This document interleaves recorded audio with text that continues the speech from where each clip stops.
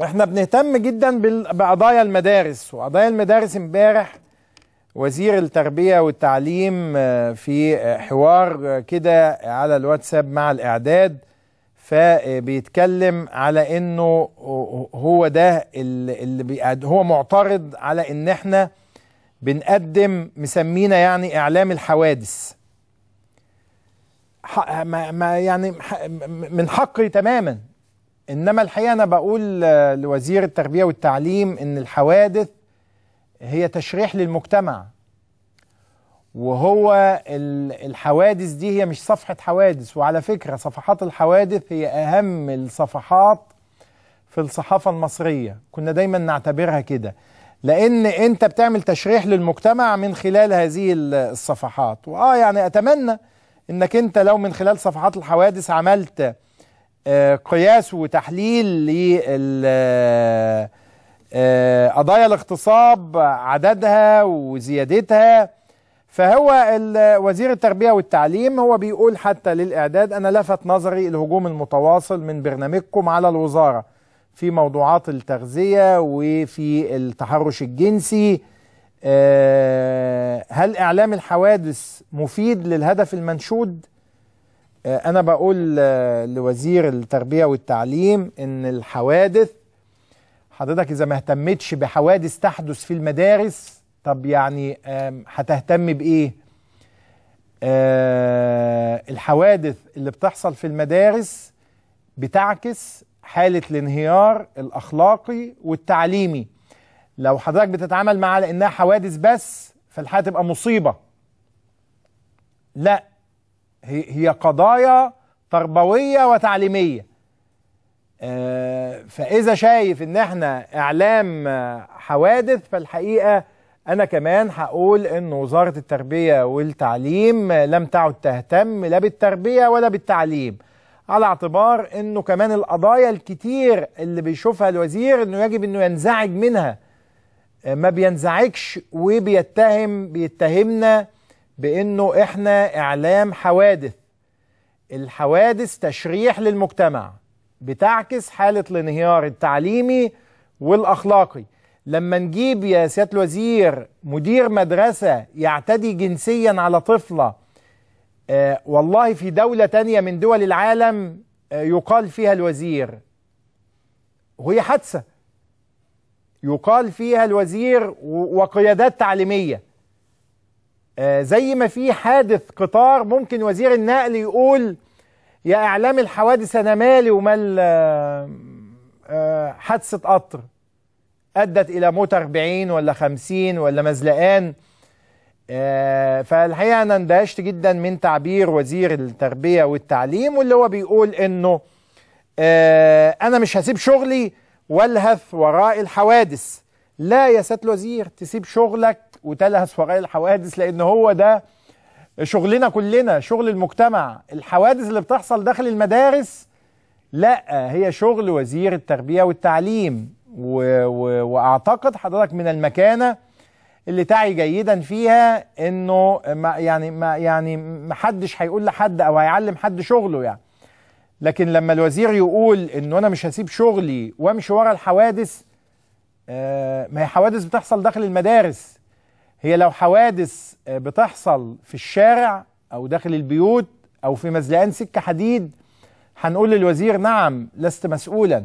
إنما حوادث ال ال آه، آه، ال- الانهيار الأخلاقي التحرش الجنسي الاعتداءات العلاقة بين المدرس والتلميذ ولي الأمر ال- اللي في حالة انهيار. لما وزير التربية والتعليم يقول أنا ماليش علاقة وأنتوا يا إعلام الحوادث فالحقيقة إنه هنا الوزير بيقع في خطأ جسيم لأنه كمان لو, ما عليكش القضايا لو هو بس مهتم بإنه تعالوا نطور التعليم كويس. ونطور التعليم لكن كمان لو أنت قلت أنا ماليش علاقة بالمشاكل اليومية اللي بتحصل في مدارسنا آه لا هتبقى في كارثة أو مصيبة لأنه مش هيبقى في تطوير مش هيبقى في تعليم أصلا. لغاية ما يجي يطور مش هيلاقي تعليم هيلاقي بلطجية جوه المدارس. هيلاقي مدارس تحولت إلى آه، ساحات بلطجة آه، فيا وزير التربية والتعليم لسنا إعلام الحوادث إحنا إعلام بيسلط الضوء على هذه الحوادث وهذه الجرائم علشان نضعها أمام متخذ القرار في محاولة علاجها. تعالوا نشوف ده حادثة أيضا طالب الثانوي اللي اعتدى على زميله بآلة حادة، لما بقول ده ليه؟ بقول تعالوا نشوف إيه اللي بيحصل في مدارسنا، تعالوا تاني نشوف وما بق يعني بنحمل الجميع المسؤولية، الأسرة والمدرسة والمدرس ولي الأمر، التلميذ نفسه، كلهم يتحملون المسؤولية. آه والحوادث اللي إحنا جبناها حتى أتوبيس المدرسة اللي دهست تحت عجلاته آه آه الطفل امبارح اللي رباط الجزمة ربط في الأتوبيس فالولد انفصلت دماغه عن جسمه.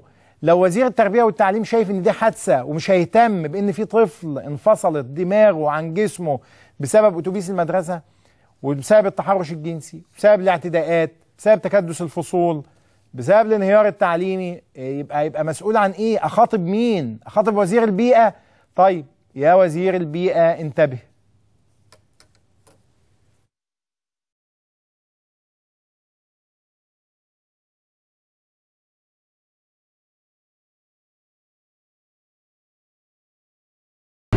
اعتاد طالب بالثانوية العامة ممارسة البلطجة على زملائه وأخذ إتاوات منهم أمام باب المدرسة بإحدى مناطق حلوان. عبد الرحمن طالب بتلك المدرسة لكنه رفض دفع الإتاوة فتلقى ضربة على ظهره بآلة حادة. أنا خارج من المدرسة فلقيته لقيته بيقول لي أنا عايز فلوس عشان تعدي. بيناديني يعني عايز اللي هو يبلطج عليا. بس فقلت له إزاي يعني الكلام ده؟ ورحت زقيته. بس ف كان هو ماسك مطوة أصلا. بس فالخناقة اللي هو دارت أنا زقيته هو راح ماسك الإزازة وراح معورني في ظهري. بس بعد ما عورني جري وفضلت أنا بقى اتصلت يعني بوالدي وجه خدني. وبعد كده رحنا خيطنا في مستشفى. بس بعد ما خيطنا وطلعنا عملنا محضر والمحضر شغال لغاية دلوقتي والواد هربان.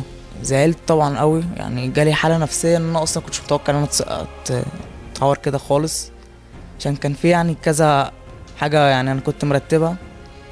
كان في كذا كلية فما ينفعش كده خلاص أخشها. أنا كنت موجود هنا في البيت فلقيت عبد الرحمن بيتصل بيا. الحقني يا بابا الحقني أنا بموت على باب المدرسة. في عبده قال لي يا بابا أنا بموت مش عارف أقول لك إيه. فأنا خدت العربية وجريت يعني يمكن وصلت في دقيقتين المدرسة.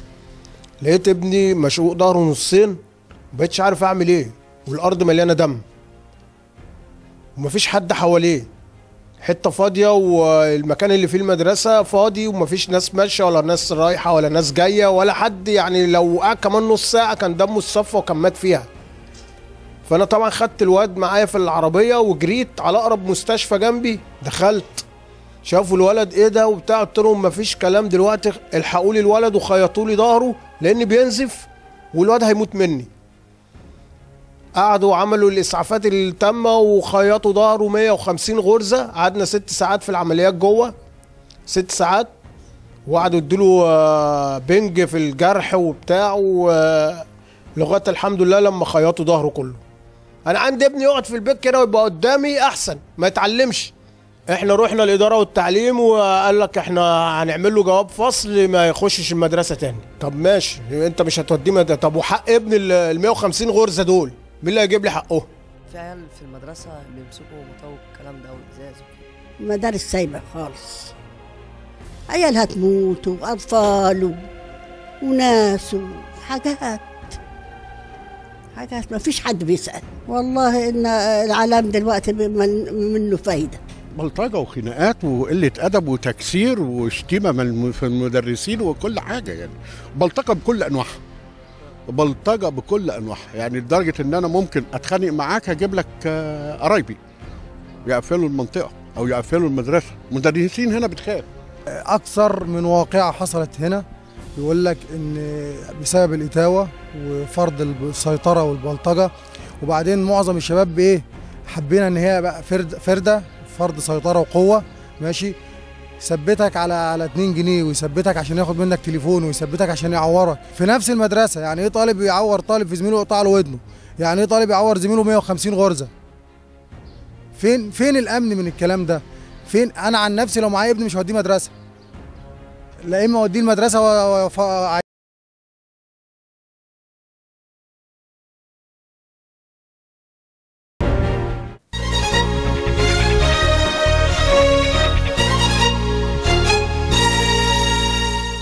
يعني لو ما خاطبناش وزير التربية والتعليم في في هذه القضايا هي مش حوادث ده هي قضايا.